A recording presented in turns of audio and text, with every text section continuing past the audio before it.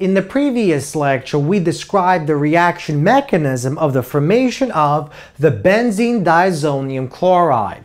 So we basically said that if we take the benzene molecule and we react it with nitric acid in the presence of sulfuric acid, we produce the nitrobenzene molecule. Next, we said if we react the nitrobenzene with these reactants, we produce the aniline, which is basically the benzene ring with our amine amine molecule, amine group. And finally, if we take the aniline and we react it with nitrous acid in the presence of hydrochloric acid, we produce the benzene diazonium chloride molecule. And we said that this final molecule is a very useful compound because we can use it to create many other important useful compounds and that's what we're going to briefly discuss in this lecture.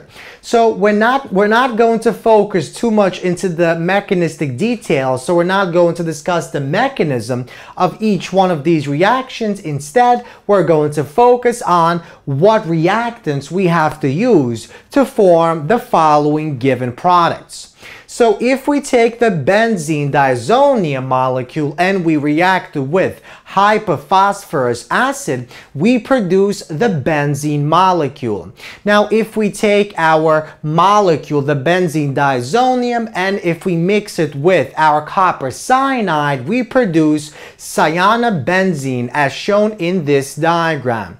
Next, if we take instead our molecule and mix it with copper chloride, we produce chlorobenzene. If we mix it with copper bromide, we produce bromobenzene if we mix it with the following reactant known as fluoroboric acid, we produce fluorobenzene. If we react with our KI with potassium iodide, we produce iodobenzene. And finally, if we take our molecule, the benzene diazonium chloride, and mix it with water in the presence of heat, we basically produce our phenol molecule. So we can see how the production of the benzene diazonium chloride actually gives us a compound that is very useful because we can use these reaction pathways to produce these important types of groups, these important types of benzene containing